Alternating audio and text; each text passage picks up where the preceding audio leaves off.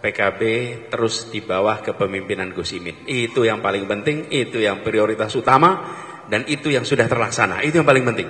Kami semua senang sekali bahwa Gus Imin memimpin lagi, dan insya Allah kemarin lompatan kepercayaan masyarakat pada PKB itu sangat tinggi. Jadi itu aja.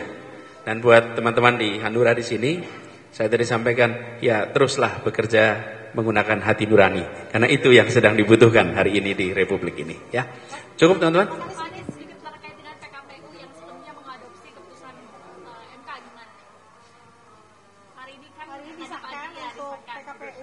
Ya, ya, ya. Memang sudah seharusnya begitu. Jadi itu sesuatu yang memang keputusan M, apa putusan MK itu harus ditaati dan diwujudkan dalam bentuk PKPU kita boleh setuju dan tidak setuju, suka dan tidak suka. Tapi begitu itu jadi putusan, hormati putusan. Saya menjalani itu ketika proses kemarin, tahun lalu, sampai dengan pilpres selesai. Kita sampaikan aspirasi kepada MK, tapi begitu MK memutuskan, maka taat. Dan itulah sikap kenegarawanan harus ada.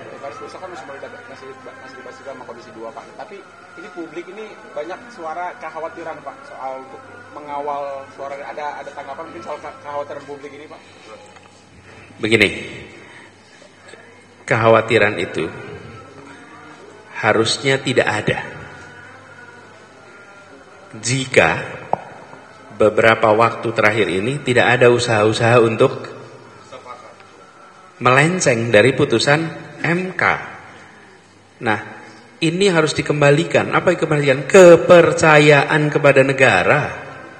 Kepercayaan benar harus dikembalikan. Bagaimana keputusan MK? Rakyat kok sampai khawatir? Ada sesuatu yang salah di sini. Harusnya kalau udah jadi putusan MK semua duduk tenang. Kenapa udah putusan MK kok? Nah, kekhawatiran ini tanda bahwa kepercayaan menurun. Nah, ini harus dikembalikan.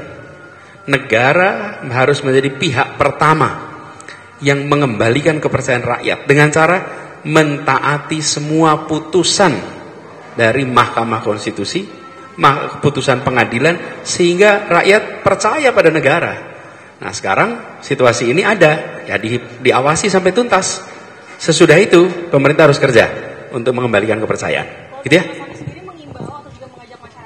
Udahlah masyarakat nggak usah masalah jalan semuanya kok. Semua bekerja dengan hatinya. Ya kan organik semuanya. Betul gak? Panggilan hati tidak ada yang memberikan komando. Menurut saya malah sudah biarkan jalan terus. Uh, ini adalah apa wujud di bulan kemerdekaan kita menyaksikan bangkitnya kembali rakyat untuk menjaga kehidupan berkonstitusi kita. Dahsyat ini. Oke, makasih ya. Nah, cukup selesai kita. Makasih ya.